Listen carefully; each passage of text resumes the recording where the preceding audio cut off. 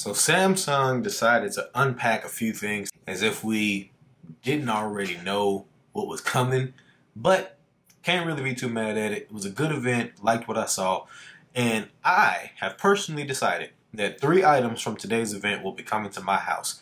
I'm going to tell you which ones they are and the reasons why. Let's get into it.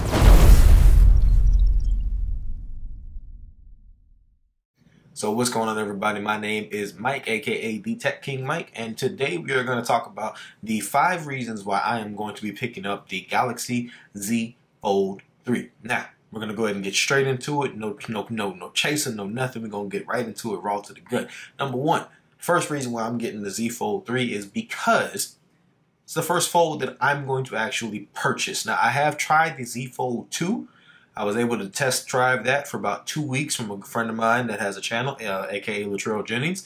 Uh, that video will be linked somewhere up here. I was able to test that phone for a while. And while I like the Z Fold 2, there were still just a few things missing for me. The Z Fold 3 does not necessarily address all of those, but it does address one big one for me. So let's go ahead and go into number two, which that thing is the water resistance. Now, I can deal with the not having dust resistance. There are brushes and bristles on the inside of the phone and the hinge that kind of help out with that. Zack's Jerry Rig, everything has already proven in the Z Fold 2 teardown that the phone can handle getting dust and things like that inside of it and still work just fine. The water resistance played a big factor for me because I work outdoors. I'm a yard spotter, aka I'm a yard jockey, a trailer mover for Anheuser-Busch. For me, I need to have something that's water resistant because there have been plenty of times where I have gotten caught outside in the rain, either on the phone or walking back and forth from a trailer. So to know that the new Fold is going to have water resistance is awesome. That is a big thing for me. Reason number three why I am going to be picking up the Z Fold 3. Reason number three for the Z Fold 3. Reason number three that I'm going to be picking up the Z Fold 3 is the screen. Now, I like the fact that the screen on the outside is still the same, but it looks like it's been widened just a little bit. But I like that the interior screen is coming with that under display camera. Now, don't get me wrong.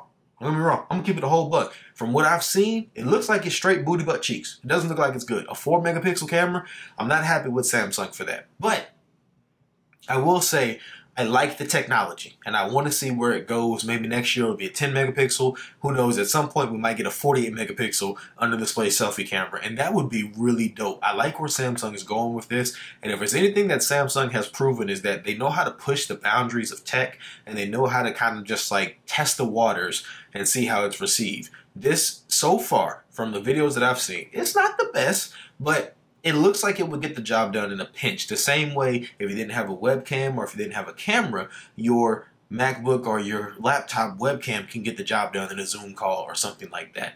I do wish that they would have put a little bit more energy into that under display camera, but that leads me into the fourth thing, which is the price. The price of the Z Fold 3 is under $2,000. Now, after taxes, you're probably looking at right at two grand. But for the first time since its inception, it's right at like it's it's it's it's gone down in price. Now, obviously, some corners had to be cut, some things had to be changed in order for that to happen. But I'm not mad at Samsung for the fact that they're able to get it and the Z Flip. The Z Flip is literally under uh, it's one penny short of a thousand dollars.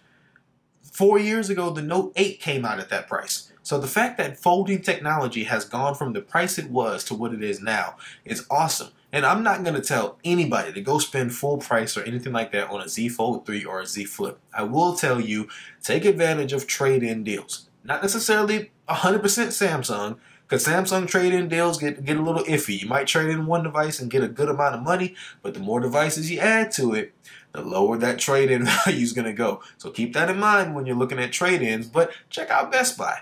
Check out your local carrier store. The carriers are running some amazing deals right now. So if you are interested in one, make sure you check out your options because there are plenty of them out there. And also keep in mind the old adage, Samsung devices are going to go on sale at some point. So if the phone goes on sale, make sure that you check it out. It is one of those things where you kind of have to accept that if you get it up front, you're just going to have to get it up front. If you get it carrier financed or however you decide to get it, that's on you. It's your money. It's your decision. And that leads me into the fifth reason why I am personally excited to pick up Z Fold 3, which is the storage and the overall overall functionality of the device. What you have to understand about me is that I'm a Mac user. I enjoy my MacBook Pro. I have an iPhone, but I always have an Android. Right now, it's the S21 Ultra. I like having both. I like having the best of both worlds.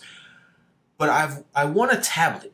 I don't want an iPad because all the iPad is going to be for is for media consumption and things of that nature. But I would love to have a device that I can carry with me when I don't want to carry my MacBook. Case in point, I'm going to Orlando for a trip in a few weeks. I don't want to take my computer for those two days that I'm gone. The idea that I can take the Z Fold 3, have it in my pocket, and it could be my main device, and when I need to, I can open it up and it can be a little mini tablet is really exciting. I know what you're saying, Mike. You could have done that with the Z Fold 2, could have done that with the Z Fold 1, but I just even after trying the Z Fold 2, I just didn't feel like it was where I wanted it to be for that to happen. This year, I feel a little bit more confident about it. A lot of people are going to say that they don't think it's worth it. A lot of people are going to say they think it is worth it. Choose and make your decision wisely based off of what works for you. But for me, those are the five reasons why I'm going with the Z Fold 3. Now, I don't need to give y'all no reasons why I'm going with that Galaxy Watch 4 because that thing is nice. That thing is tight. I like the Wear OS. I, I'm getting it. That's all. That's all that matters. That's all you need to know. Galaxy Buds 2 might be picking up a pair of those just to go ahead and complete the whole trio because y'all know how this goes. Every time a new device comes out, tech YouTuber gets it, switching everything and all that good stuff. So y'all know what's gonna happen.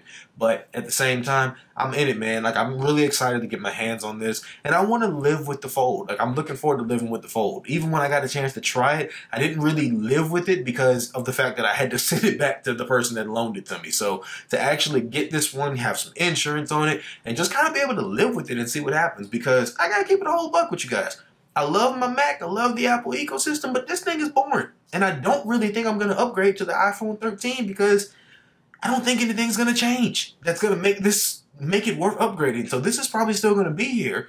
And my main sim is probably going to go inside of that Z Fold 3 once it gets here. But it will be here on August 27th, maybe a few days earlier. Y'all know how Samsung does with the deliveries and everything like that. So stay tuned for more content on the Z Fold 3. But until then, I'm going to say that I hope you guys stay safe, stay blessed, Thank you guys for watching this video. Are you grabbing a Z Fold 3, Z Flip 3, or a Galaxy Watch 4? Let me know down below in the comments, and I will catch you guys on the next video.